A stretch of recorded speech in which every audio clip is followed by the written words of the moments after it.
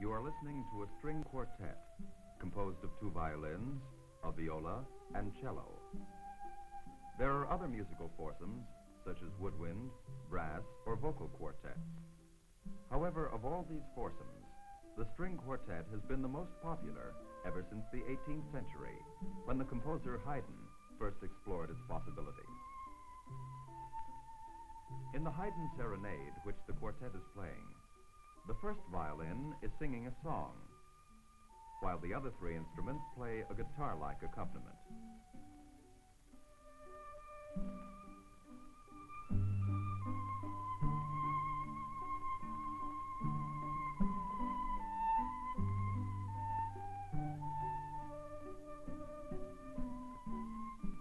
In writing music, the composer uses the voices of a musical group to say something to those who listen. Music is a kind of language. The better you understand musical language, the more you will appreciate what the composer is trying to say. The musicians, like actors or interpreters, bring to life the notes the composer has set down on the written page.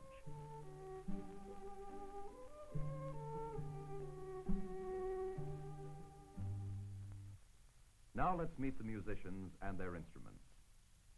First, the deepest voice of the group, the cello.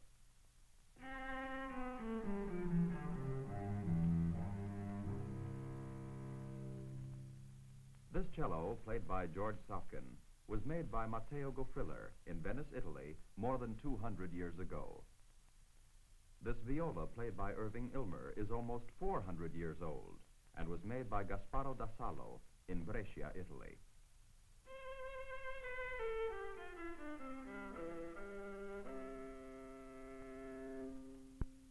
The second violin, played by Abram Loft, is the baby of the quartet.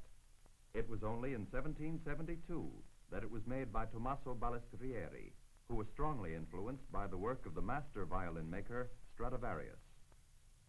And here is a violin made by Stradivarius himself in Cremona, Italy in 1729. It is played by Leonard Sorkin.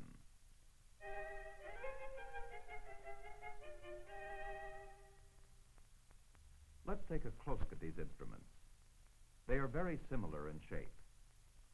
Each has a body or sound box, a bridge, four strings, a fingerboard, a neck, a scroll, and four pegs.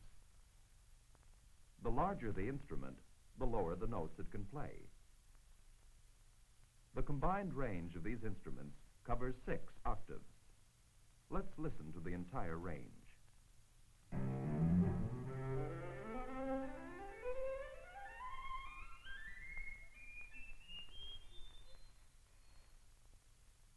Usually they're played with a bow, as you've just seen. But the strings can also be played pizzicato, that is, plucked with the finger.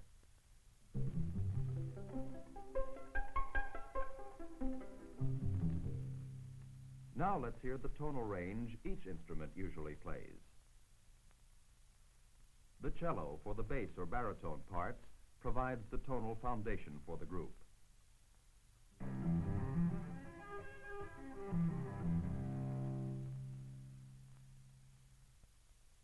Viola, for the contralto or tenor parts, plays principally in the range between the cello and the violin.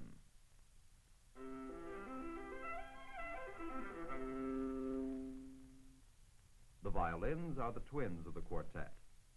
Together they cover the soprano and alto range.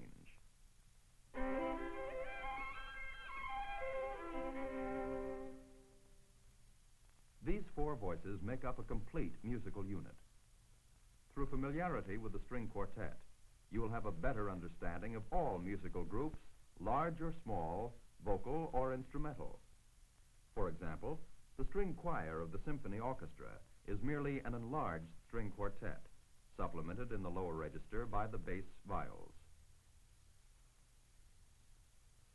The vocal chorus, too, is divided in a similar manner, with bass, tenor, alto, and soprano parts.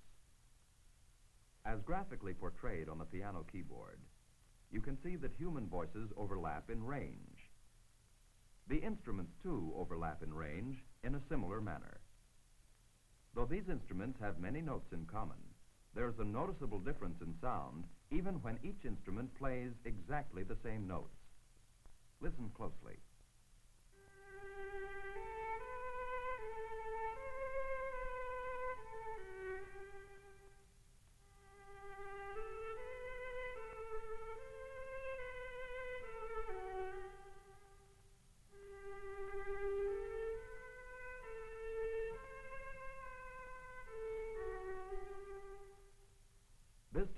Sound quality, which you could hear when each instrument played exactly the same notes, is what is called tone color or timbre.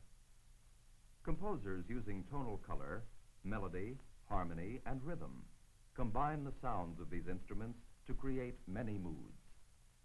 Let's listen to some examples of moods which are found in quartet music. Here is Haydn in a gay mood.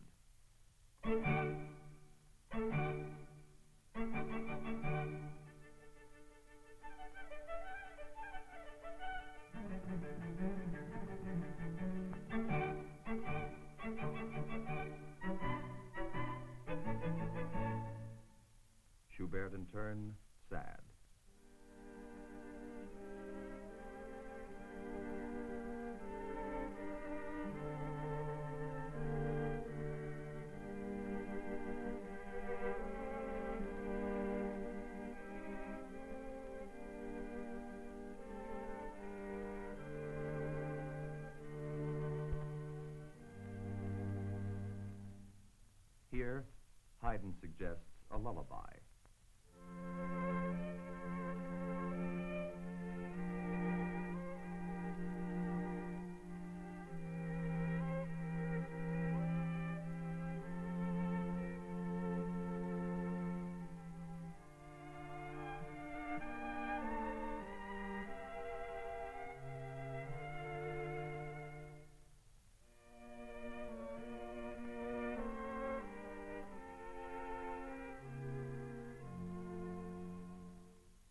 And there is fury or anger in this bit of Schubert.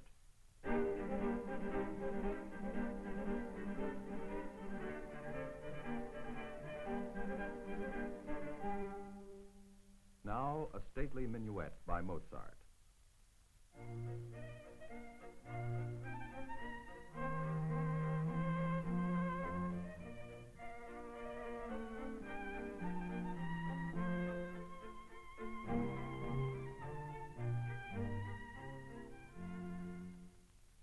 Listen to this lively dance, a tarantella by Hugo Wolf.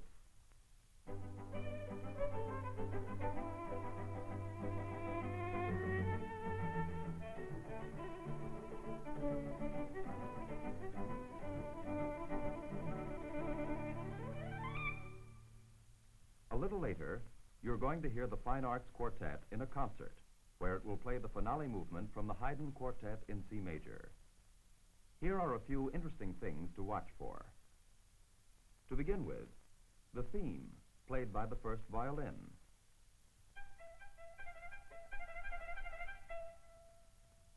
The second violin and viola pick it up.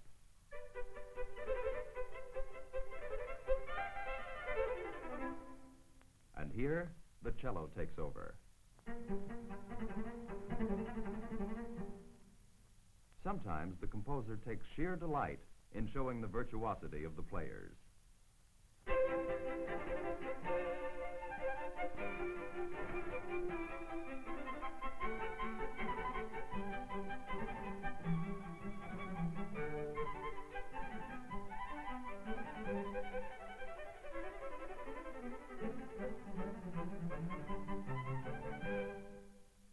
And here's the section from which the movement gets its nickname, Mama Papa. Listen as the argument is tossed back and forth.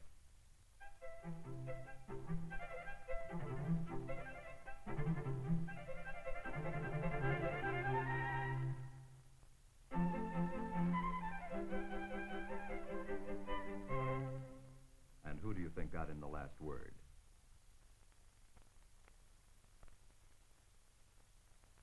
We have met the four voices of the quartet and have learned of their versatility and their tone color.